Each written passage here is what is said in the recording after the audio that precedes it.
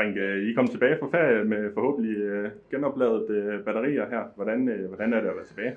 Ej, jeg synes, det er rigtig fedt at komme på græs igen. Jeg synes, man er, ja, som du selv er inde på, man er, man er sgu klar igen efter tre års ferie. Så jeg synes, det var fedt at møde ind og ud og røre bolden og møde gutterne igen. Så det var rigtig dejligt det er jo en opstart uden, øh, uden to øh, sådan profileret herre, kan man sige, øh, i, i E og, og der ikke er her mere.